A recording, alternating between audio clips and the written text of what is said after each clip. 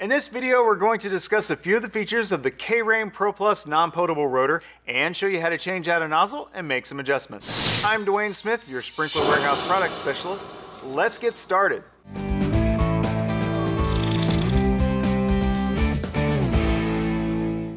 This is the K-Rain 11003 Pro Plus rotor with a purple indicator cap and collar to signify that this rotor is supplied by reclaimed water. This rotor has a pop-up height of 5 inches and it has a 3 quarter inch inlet. The Pro Plus is both an adjustable pattern rotor and a continuous 360 degree rotor in one. You can set the pattern anywhere from 40 degrees to 360 degrees. When you set it to 360, it goes around in a continuous circle. The way you set the pattern on this is incredibly cool. Using this key or a flathead screwdriver, just point this arrow to the width of the pattern that you need. Completely straightforward with no guessing.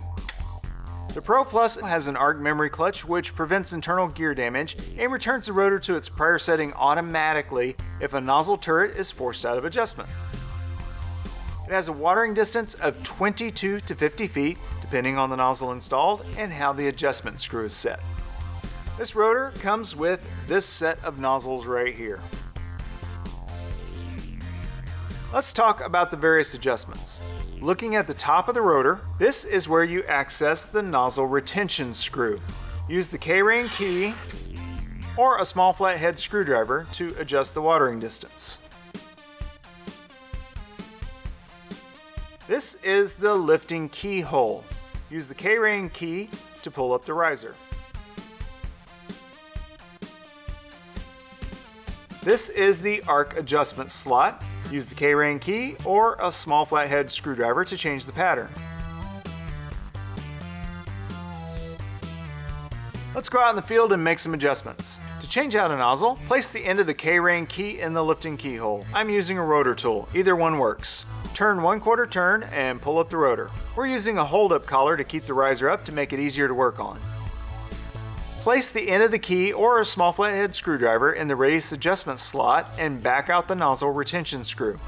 Unscrew it far enough to get it out of the way of the nozzle, but not so far it comes out completely because you don't want to have to look for this tiny screw in the grass. Pull out the nozzle with a pair of needle nose pliers or pry it out with a screwdriver.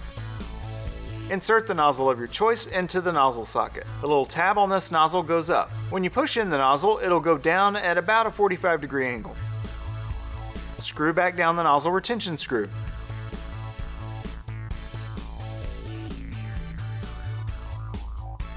Let the rotor riser back down.